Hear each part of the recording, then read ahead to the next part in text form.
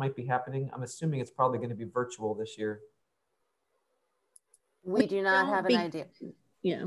There's a transition in the position at the state level, so we're waiting for that person to be hired before we hear about that. Okay, so as soon as we know, we'll let everybody know, but as it says there, it's optional. You know, participation by subrecipients is a nice to have, but if it doesn't work for your schedule, no worries.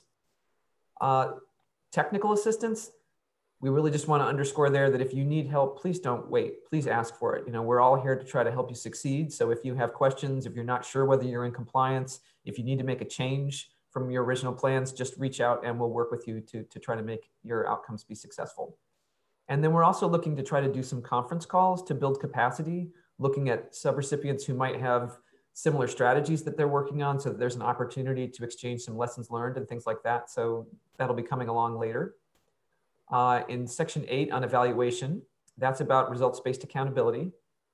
Similar to last year, there will be a conference on RBA for new recipients that will be virtual, not in person, unfortunately, this year because of COVID. Uh, we are continuing our work with Angie Leduc.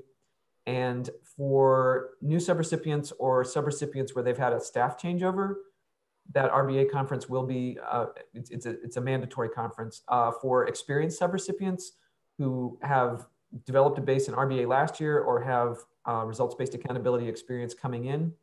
Uh, we do provide a consulting opportunity with Angie. So that'll be done on a, essentially we're not doing it as one size fits all. We're, we're customizing this to where people are with their RBA as we help them develop capacity.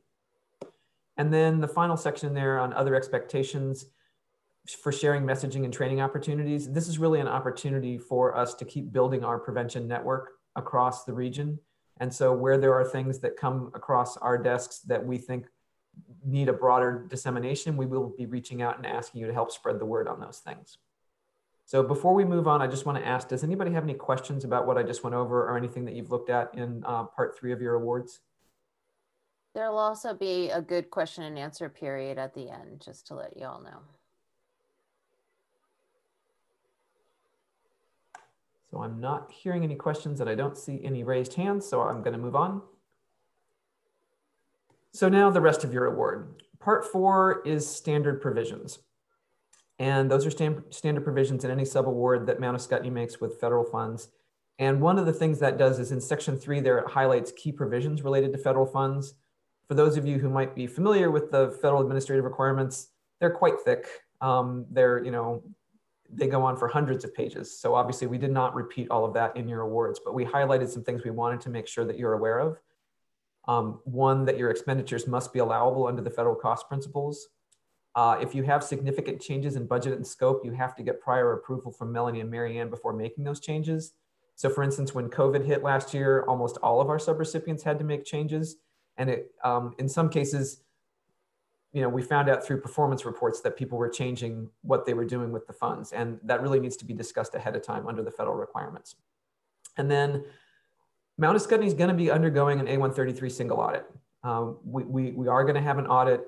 It's possible that your subaward might get selected for review by the auditors. You know, when auditors do an audit, they, they do what's called sampling. So they'll say, oh, you have 10 subawards. We're going to pick two of them and go look at them. So there are provisions in your award that say that if, if our auditors come and ask and they want to look at your records, that you'll share those with our auditors. It's not something scary. It's just something to be aware of. We know we're going to get audited. They're going to probably audit this grant, and it's entirely possible that they'll audit one or more of you in that process. And that means they're just looking at your documentation, looking at your record keeping. So just make sure that everybody on your team that's involved with expending these funds knows that your files should be audit ready at all times. And so I really just want to underscore that any staff that's spending money under this grant really should understand what the provisions of the award require so that you, you that you're ready. And also just to make you aware that, for instance, with record keeping under the federal requirements, you have to keep the records for up to three years because there are audits that happen after the award ends. And then part five of your award is the state of Vermont flow through provisions. We streamlined this as much as we could. We only included the provisions that the state of Vermont requires us to include. Uh, but even though they are essentially boilerplate, and those of us who get other grants and contracts from the state have seen them before, I do want to encourage everybody just to be familiar with what's in there because the state of Vermont considered them important enough to require us to flow them through to you. So just take a look and make sure that you understand what's required by those state of Vermont provisions.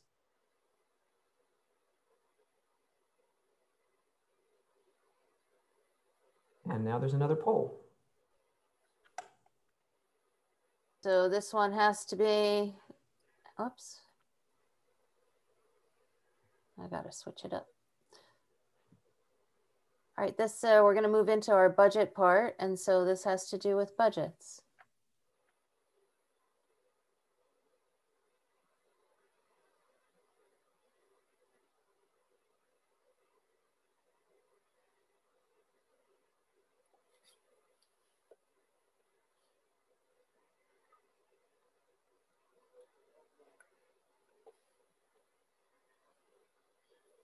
We're looking pretty good here too. Um, we'll need, a- we have some people who are very, very confident with their budgets, some people who need a little bit of help and somebody who we're gonna shepherd along to making sure that they love their budgets, Jackie.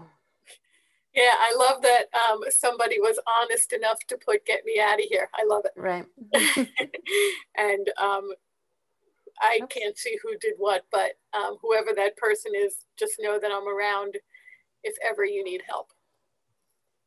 So um, I, the next um, slide is an invoice template, and I'm actually going to um, Marianne, if you can stop sharing. Okay, and I am now going to share my screen. Okay, can everybody see that? Uh, I think you're all muted, so nobody's answering me. Um, I'm going to assume that everyone can see it. So, I can, I can see it. okay. Um, last year, we kind of told people to just make their own invoice and submit it. And um, what we received was a whole host of different forms, some in Excel, some in Word. Um, and um, it got a little bit confusing, I think, for everybody, um, getting us the information that we needed. So this year we decided to come up with our own template. Um, I tried to make it as simple as possible for everyone to fill in. Um, but because we are asking you to use this template, um, we decided to have this webinar just to review how to fill it out. Um, it's very similar to the budget template that you did when you submitted your grant. So it, it shouldn't, and every seem, everybody seemed to be able to get the, the hang of that. So, but we're just going to review it. And so what I'm doing here is I have a dummy invoice um, that I'm going to manipulate and you guys can see what I'm doing um, as I'm doing it. So what I did was I already pre-filled in that supposedly this is a grant from for the collaborative, our address and our subaward number, which is in box one of your subaward. Like Alice said, we need that written on every invoice. Uh, in the first column, you just put in your budget as per your subaward. Um, and you have to put in the name of the people. Here, if you can put in names or you can put in positions, um, it doesn't really matter. And then fill in your fringe, whether you're using a percentage or if you're using um, actual costs for your percentage, again, based on what you did for your grant budget. Um, then we have each month is its own column. So if we're saying that um, reporting for November, which is the first month that you will be reporting for, you just start putting in your numbers. So I'm going to put in 500, 250, 250.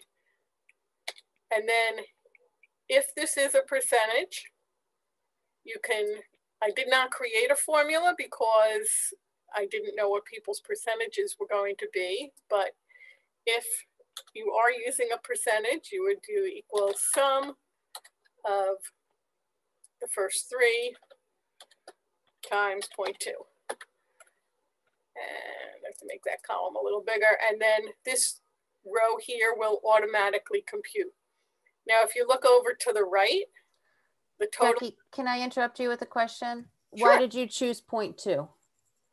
um, I used 0.2 because it's kind of a average. About 0.15 covers um, FICA, FUTA, um, I should say, I should say social security, Medicare, state unemployment. I don't know if people pay federal unemployment or not, workman's comp. And then I don't know if you pay health insurance, um, what other benefits you give to your employees. So I kind of just chose point two as a So- figure, but you can figure that out. Your, your bookkeeper should know what your percentage is for your organization. Thank you. Um, if you look to the right, you'll see the total column um, is auto computed. So when I start filling in December, that number will change. Um, and then the remaining balance is basically your budget minus your total column, and that will also auto compute. I'm gonna take out December for now. Um, keep going down. I don't, I, let's just say I didn't have any consultants in November. Um, I had a hundred dollars in materials and supplies, no training, uh, no travel because we're not going anywhere due to COVID. Um, and I had fifty dollars in other expenses, which need to be explained. Um, you can put them here, you can put it, um, I would say probably, I didn't really make a spot for that, so you can just put it over here. Um, again, this row will auto compute and it didn't, so I will fix that formula. That should say to C20. I'm glad I threw that in there, so I saw that. Um, it did, it did compute correctly over here. Jackie, Will has a question. Do you want to take it now or wait until the end of the spreadsheet? Um, it's fine now. Okay, ahead, thanks. Um, I was wondering with the uh, personnel, we budgeted according to different personnel working, but um, it would be kind of hard to invoice exactly how much went to each person. Is it okay to just invoice all the personnel together?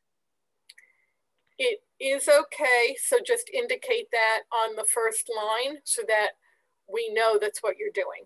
So we're Okay. not thinking that it's all for one person. Um, but this is Alice. I need to jump in here. You need to look at that paragraph four C in your award because some people are required to provide full documentation, including documentation of your payroll.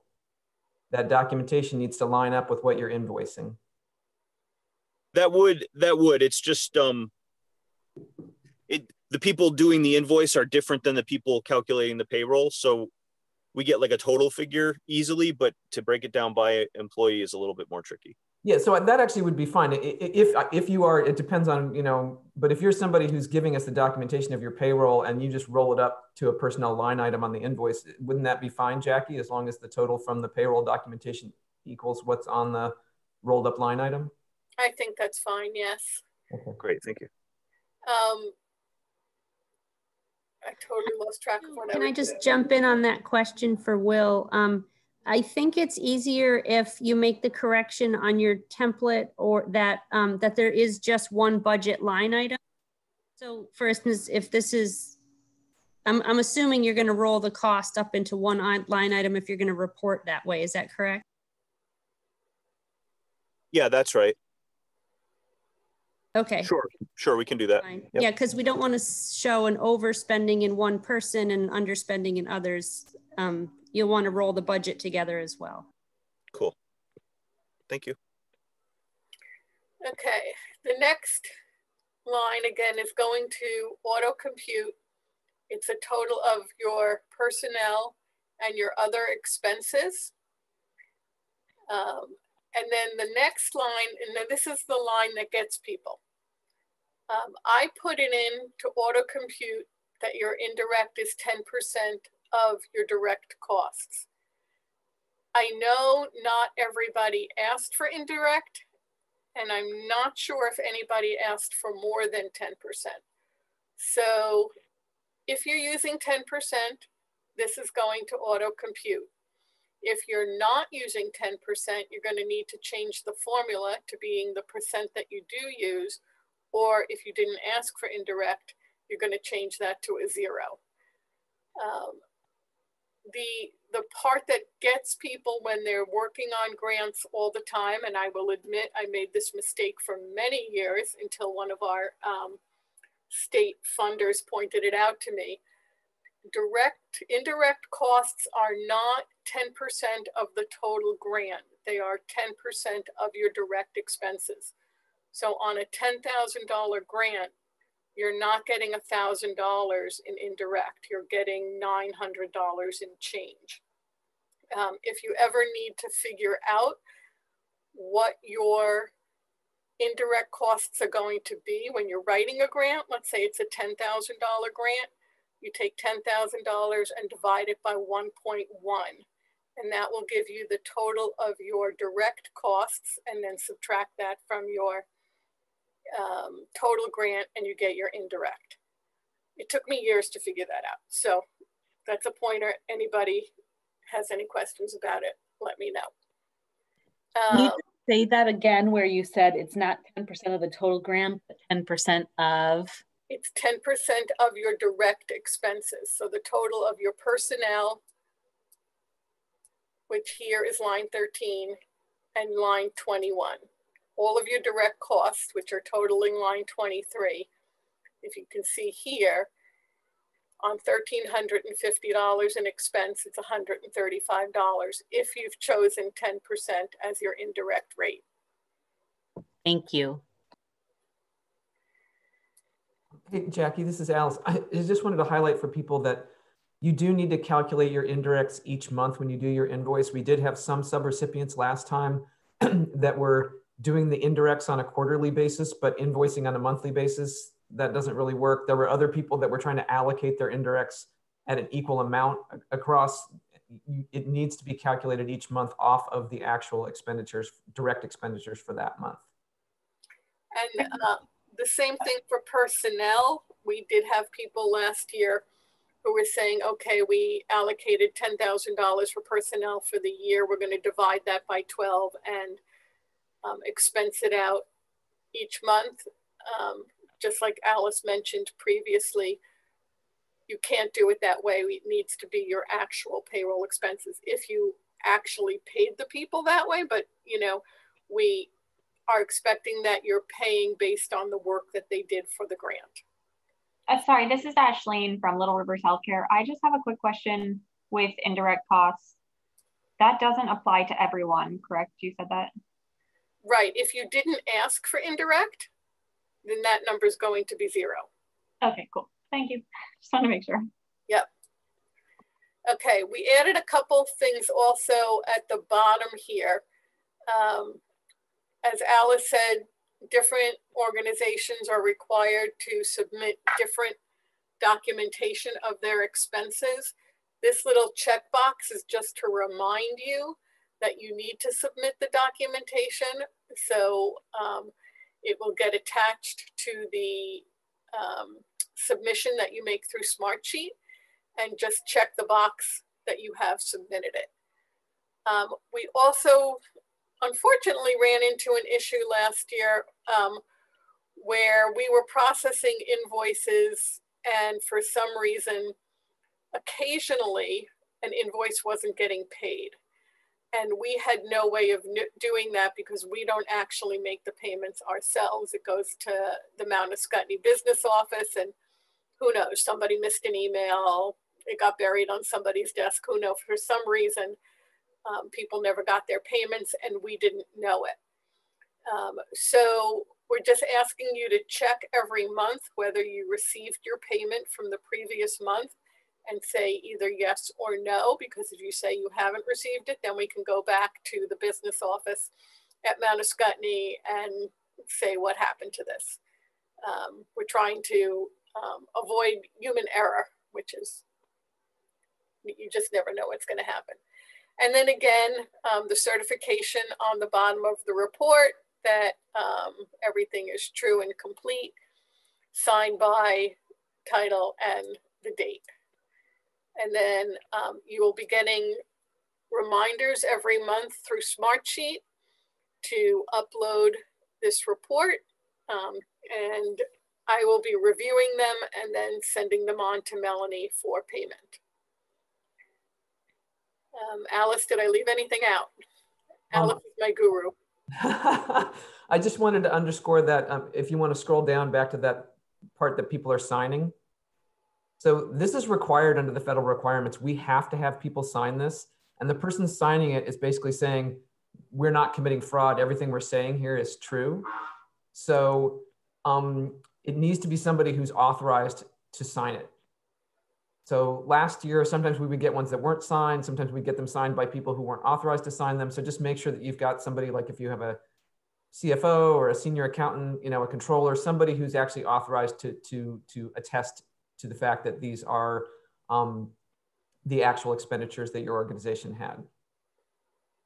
Hi there. I have a question um, about that. So is this um, e-signaturable or do we need to, um, we need to print it out, sign it, scan it, and then send it back to you? I think an e-signature is fine as long as the person who's doing the e-signature actually put it on there themselves and it's not some administrative person just saying, oh, I'll put Mike's signature on here, everything will be fine. Just because if something does come back, you know, the person is actually liable for having signed this. Right. I'm, I'm just, I'm, I'm wondering about does Smart Sheets uh, work if it's, if you get a PDF of this? We'll get the Smart Sheet in just a minute. So Oh, cool. that question. Rock on. Thank you. And yeah, I was gonna say in, in these times when we're, a lot of us are working from home, we may not have the, as good technology as we do in the office. So again, if there's any questions or problems with how to submit anything, um, we're here to help. Okay, any other questions? Okay, then I will stop sharing. Jackie, I just have a quick um, thing I wanted to jump in. Sometimes if you can, um, uh, I think with Smartsheet, you will have an option of either uploading an Excel spreadsheet or a PDF, however you're sending it. Uh, keep in mind uh, the business office, and when I print it out on eight and a half and by, we can't see the numbers if it's so small, just try to keep that in mind. Um, Jackie, I don't know if you could show us how to maybe hide. Um, Oh, yep, I was going to do that. I'm glad. yeah, because sometimes last year we had a, a real hard time seeing some of the invoices. And as they get filled out, we can hide a few months at a time as they get old. Right, so if anybody doesn't know how to do it, okay, now it's, let's say I'm into uh, January. So I want to, I don't need to show the business office November and December's numbers. So I highlight row C and D. And now I have to move the, my, let's see, my mouse has disappeared. Um, come back, mouse. Okay, um, move this out of the way. And then I go into format. And I click on hide and unhide, and I'm going to hide those two columns. So now the first column that shows is January. If I want to, I can also hide everything through September.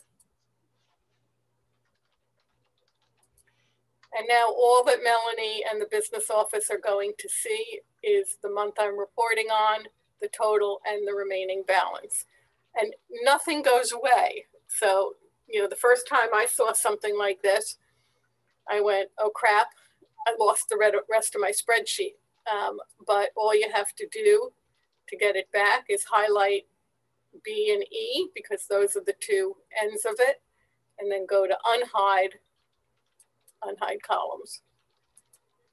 And then E to N. Unhide columns. So if anybody, that's a little trick if, if anybody didn't know it. I don't know everybody's familiarity with Excel and I apologize if I'm talking down to anybody. Um, this is Alice. I just wanted to jump in. One of the things we did to streamline these subawards is because you're getting paid after the fact, we're not making people do separate financial reporting because the invoice serves as a financial report as long as you don't hide the total and remaining balance columns because those essentially would be what are on the financial report. So when you're hiding columns, don't hide the current month and don't hide the, the total and the remaining balance because we need all three of those columns to count it as a financial report under the federal requirements. Thank you for uh, taking a few moments. If you are um, submitting uh, this in Excel, I can hide the columns on my end. So it's not a huge deal. It's just if you're providing this in a PDF that's super small, just keep that in mind. Okay, now I will stop sharing.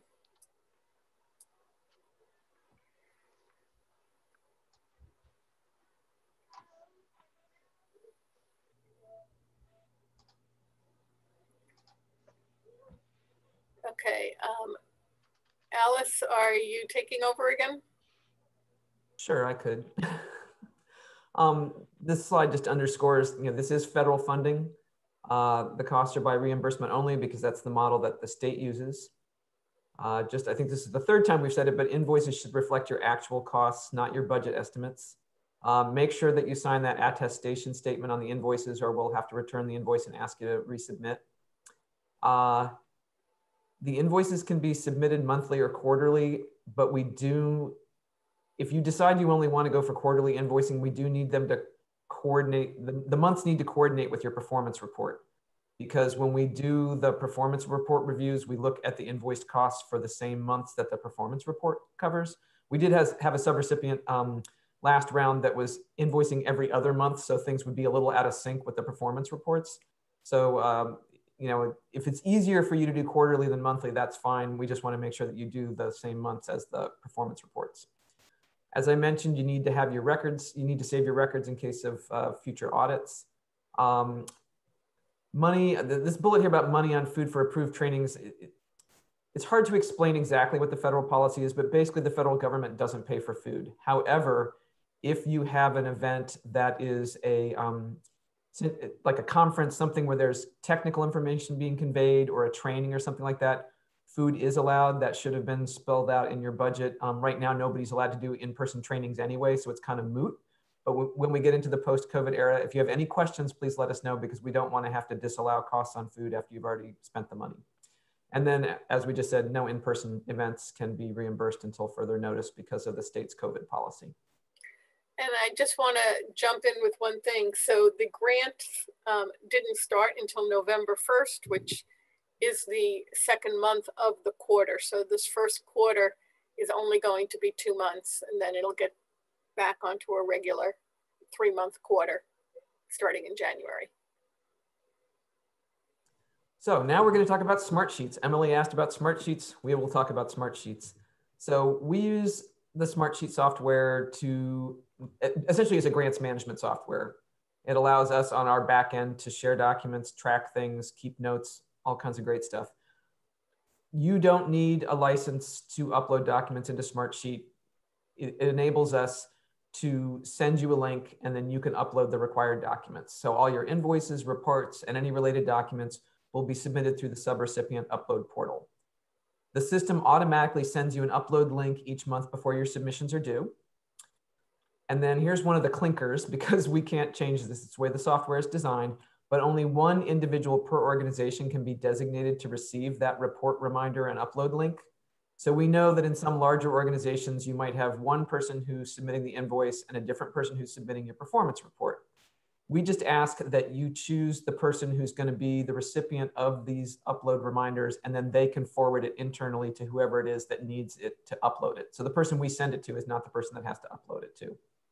Right uh, now, I'm sorry, somebody Alice, uh, it's my question, Marianne, uh, about how far in advance of the due date for the reporting does that link go out? I'm going to get there in a minute. Oh, thank you. Okay. Yeah. So um, right now, the single point of contact that you identified on your grant application is the one who's going to receive the Smartsheet reminders. If you would like us to substitute somebody else for the emails, just let us know. That doesn't change your single point of contact. So we have there are two fields in the database basically one for the single point of contact for official you know grant communications that maybe melanie and marianne have to send out but you can designate a second different person to get your smart sheet reminders. But until you tell us the single point of contact is going to be the person that gets those. So next slide please. So The upload portal test. Your single point of contact identified person should have gotten an upload portal test email at 2 p.m. today, so 11 minutes ago. Uh, you can use this email to one, confirm that you're receiving the Smartsheet reminders. If the reminder went into the junk email folder, we ask that you please mark it as not junk so any future reminders will show up in the inbox. You can also use it to do a test upload. You can upload any document you like. Uh, with our last round of subrecipients, a lot of people just submitted uh, a piece of letterhead. Uh, when I did my first test, I actually uploaded some dehumidifier instructions because that was what I had on my desktop and I was just like uploading a random document. We really don't care what you upload. Um, when you do the upload, uh, a notification will come to us on the back end and then we can send you an email confirming that your upload came through just fine. And we didn't have any problems last time. Everybody was able to do it. If you are our repeat subrecipient and you don't want to do the test upload because you know how to use Smartsheet and everything's always worked fine, you don't need to do the test again. But we went ahead and sent the link to everybody just, you know, just to make sure everything was set up correctly on our end. So um, if uh, so, I just put the little screen capture there of what it would look like if it came through Outlook. You know, so it looks like this little thing that says via Smartsheet. It'll probably have my name on it. Um, next slide, please. So what you'll get, the, the document on the left is what the email looks like. It has some you know, paragraph explaining what you're getting. And then there's a button that says open update form. This is another thing we can't change. Once you click on that link, it doesn't work again. Smartsheet is just fussy that way. It, things work once for uploads and they don't work a second time.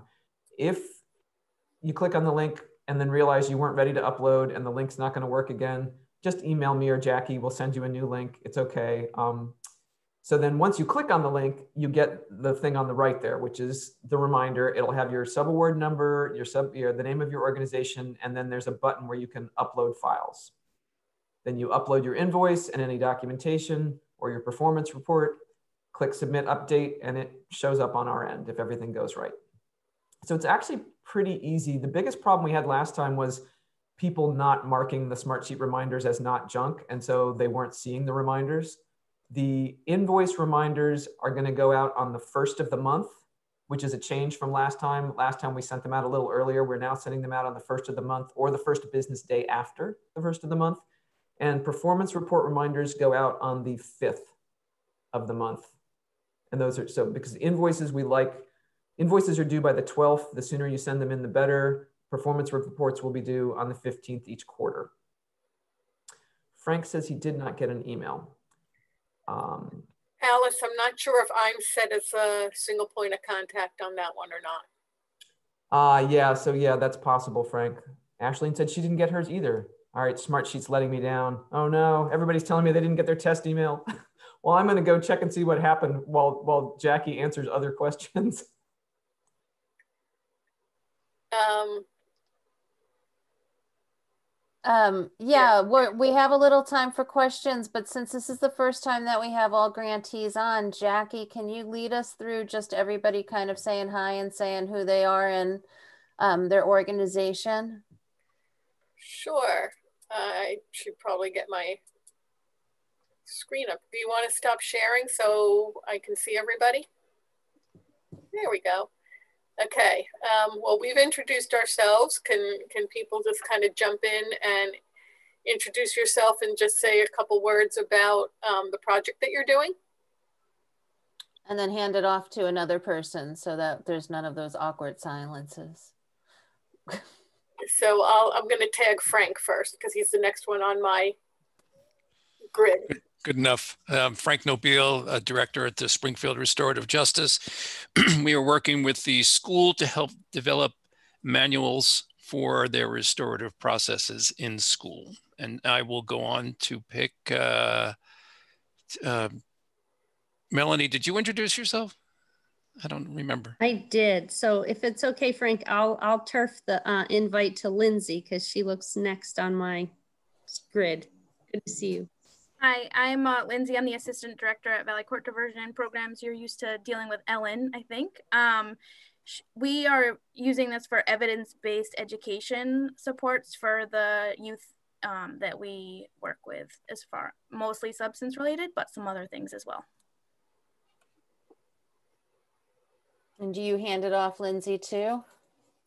I cannot follow directions today. Uh, how, how about um, M?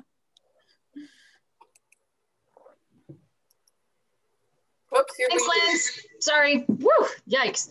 Um, hi, I'm Emily Zanleoni. I am the Executive Director of the Hartford Community Coalition. And uh, we are working with Hartford High School to purchase um, an evidence-based online education preventative tool called eCheckup. Um, so uh, we're gonna purchase um, uh, tobacco, alcohol, and cannabis and kind of pilot it here and see if um, some other folks wanna do it next. Uh, oh, uh, Astrid, you're next on my list. Thanks. Hi, I'm Astrid Bradishhoit of the Turning Point Recovery Center of Springfield, and I am sort of moving into the program lead position that Will, my, my coworker, had formerly been filling in. so he, he's going to be guiding me through the next phase of our program. We, our sub award is around uh, youth-based recovery supports, uh, recovery inclusive community events, and recovery ready workforce training and we're humming along. We're really grateful to be a part of this and serve folks in recovery.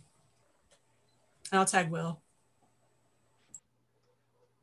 Hey, I'm here to help Astrid. I helped coordinate the grant for the first year. Uh, went really well, and Astrid um, was very active in leadership and administration of that. Um, and she's actually leading the recovery ready workforce piece of it because um, we had some staff changes.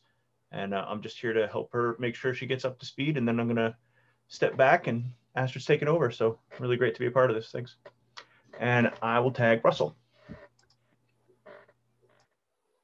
Hi, I'm Russell Bradbury Carlin, the Executive Director of Youth Services down in the Brattleboro and Bellows Falls area. And we're using this funding to help fund some work with an after school program for teens that we have called Friends for Change. It's a youth led after school program and doing some substance, uh, substance use intervention work in the community.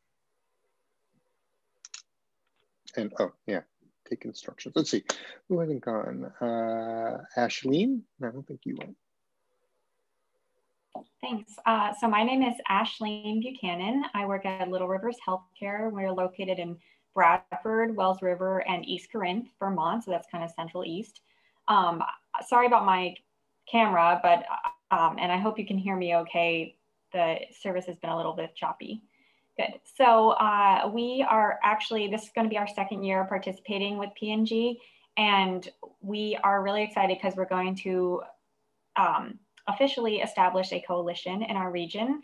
And our mission as a coalition is to help teens know that they matter to people in their community.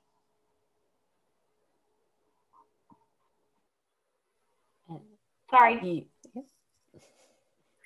Okay, um, why don't we jump to Shannon?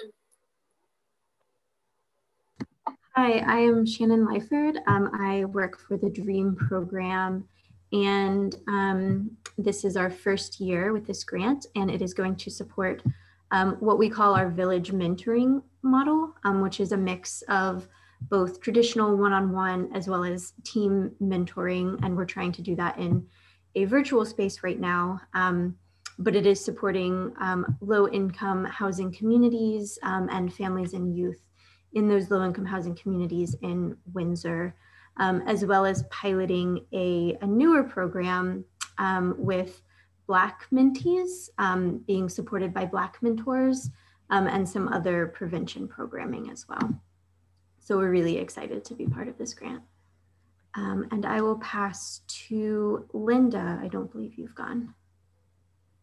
Hi, good afternoon. I'm Linda Lontaine Magoon. I'm the Chief Financial Officer with Thetford Academy. So I'll mostly be involved on the financial end of it. So Jackie, it looks so I may be in contact with you. Um, our project is also, like many of you have already said, really around evidence-based um, educational supports.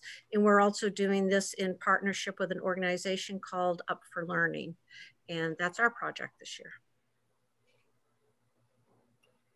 Okay, Gina. Hi, I am Gina Rock, and I'm the Interim Director of Instructional Support Services at Windsor Central Supervisory Union. Um, so I'm new into this position and I'm in charge of all of our grants management. So sometimes I'm not exactly sure, like I know all the different grants we're working on, um, but I don't necessarily have them all clear in my head unless I have everything in front of me sometimes. And I'm also in charge of all special education in our district. Um, we are working on, um, we have established a racial justice coalition and we have um, five different components that we're targeting from a student social justice uh, group to um, partnering with uh, uh, different organizations, including uh, some law students helping us to write new policy related to um, racial um, justice and inherent biases. Um, so we have a whole component where we're looking at um, training and working with staff and teachers around this, as well as the student components. There's several different groups that um, we're targeting. Um, and then we also are working on a library of resources.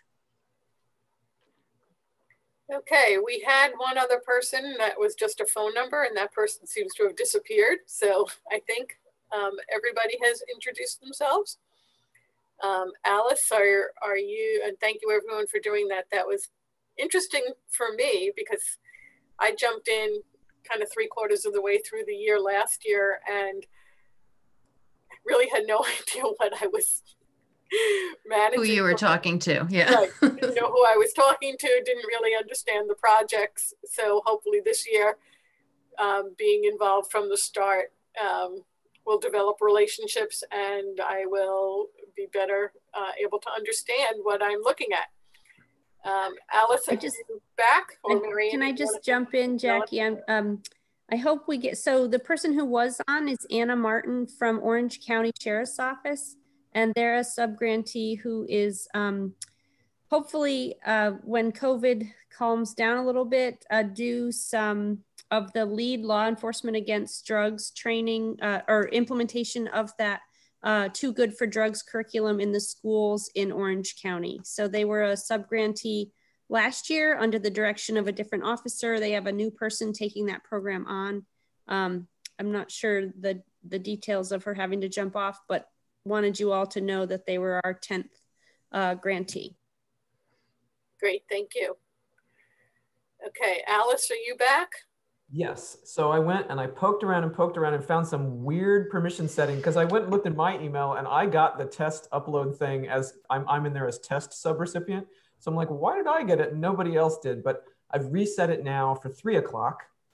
So at three o'clock, everybody who's listed as the single point of contact should get the email. Like for instance, Linda at Thetford Academy, I think it's actually Kara now. It was originally set up as Patty and they told me to change it to Kara. So so Linda, you won't get it. And then I think um, Lindsay also, you won't get it because it's set up as Ellen. Um, but I think everybody else who's on here is listed as the single point of contact. So if you don't get the Smartsheet upload portal test email at three o'clock today, let me know. Here I thought I was going to be so slick because I was going to do it during the training and everybody's going to be able to go look and say, yeah, I got it. And anyway, that didn't work. Oh, well, sorry. Well, I, I will say that um, Smartsheet um, is a program that um, we've been using now for a couple of years at the collaborative. Um, we have one person on our staff who went for the training and that is was not me. Um, and her name is also Alice. And then um, Alice Stewart at Mount um, she is a Smartsheet um, whiz in my book. So any Smartsheet questions should really get directed to her. Um, I did want to ask for those of you who are repeat subrecipients, do you have any, you know, lessons learned, things to share with um, the new uh, subrecipients about your experience with Smartsheet? Any, you know, helpful hints for uploads or anything? I'm still. I I uh, think I'm just finally now getting the hang of Smartsheets. And one of the things for me that I was confusing and it's just just this little pragmatic thing it's silly. So like all of the programs you know that were in your google drive you were here well I, that you have to look in the email every time for it. So i it was confusing to me because I, I work with a lot of different programs and financial base. so uh, i just bookmarked it. You know how simple was that? And then um, I was having a problem scanning things to it, so I've been testing that over the last couple of days, and Jackie seems to be getting them. So hopefully, going forward, it will work better. But um, I, I, it was the bane of my existence for a while, and I, I don't know why, to be honest with you, but it was. So. I got a couple lessons learned. Um, I found out that it's really helpful to get all your documents together, especially when it comes to like uh, quarterly reporting where they want to see any materials that you've produced, like if you put together flyers or PSAs or anything like that, um, or training materials, they want all that included. And it's a little tricky to try to chase that down once you've already opened the link, because like Alice said, you can only open the link once. So it's good to have all those materials downloaded and ready to go and in an easy to find place and upload them all at once and then I don't actually close the link after I've uploaded them so I can go back and double check and make sure that I got everything and then it's not too late. So you can kind of keep that window open for a little while. Um, yeah. And like Alice said, we can always resend you the link if you mess up and close it too soon. So but you will not be the first person who sends us an email saying, oops, I attached the wrong version of my performance report. Or oops, I sent you last month's invoice, not this month's invoice. Oops is totally okay. And regarding gathering materials for submission, like that's sort of a grant management trick in general. So you might want to just make a habit of putting like quarter one folder of materials together and and then saving it for future with with all my grants that's that tends to look like what it looks like on my desktop I would add a practical trick um, because sometimes the uh, upload reminder from Smartsheet will come into your email. And if you're not going to get to it for five days, you might have 350 emails on top of that. So you can set up a Smartsheet folder in your um, mailbox and right when you get that Smart Sheet reminder, you could click and drag it or, or send it to that folder. So then when you do have, you know, come to the time to do your reporting, you could click on your Smart Sheet folder and then it will be there. So that saves time from sorting it through email as well. And any attachments that you, let's say you're sending something to somebody else and you know it's a flyer you're going to include in your report, you could send it to that folder as well. And that's another way to keep track of your attachments through your um, email program.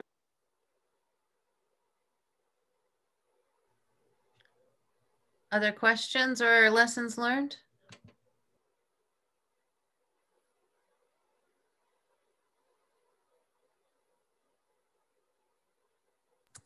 I just wanted to give a shout out uh, to everyone who's who's having a second uh, year of funding. It's been our experience working with those of you in the first cohort uh, that has allowed us to be uh, sophisticated enough to present this information to you in a webinar today. We've been learning along with you. Prior to this grant, we were not in the business of subgranting this amount of money in this in this way. So uh, thank you for being our guinea pigs and for um, you know just allowing us that opportunity because we are I think Alice already mentioned or Marion that we've been sort of growing along with you. So thank you for that.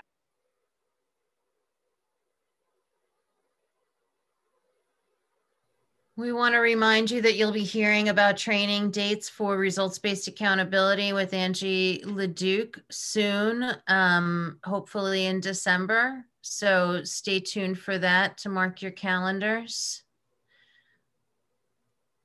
And if you need to find documents, and since Jackie just edited the invoice in real time with us on the line, wait a little bit before you uh, download that template on this website. You can go for resources, information, contact information at this website here. And uh, this is Alice. I just want to underscore our the web folks did put the previous version of the invoice template up there fairly quickly, but we're in the middle of revising that page right now. So maybe we'll just send out an email telling everybody when it's, you know, when it's ready a little bit because it's a little harder to follow right now because it's in a transition phase from the application stage to this uh, grants implementation stage. Great, thank you for that. I will, um, I will probably, uh, Jackie, if you could resend me the invoice template from that cor- uh, correction in the formula you just made. And I will try to get the, um, they're very responsive. I'll try to get the web updated today so you could, it'll be ready as soon as tomorrow. That sounds good. I will do that. And then in the spirit of evaluation, which is one of our um, learning pieces that we try to build the capacity for in this uh, prevention networking opportunity for everyone, including ourselves, please post in the chat one thing that you learned today during the presentation.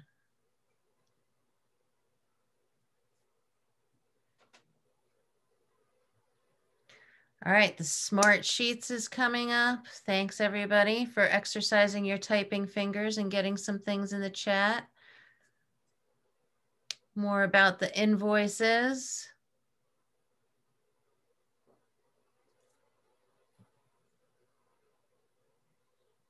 Ah, the quarterly folders, yes.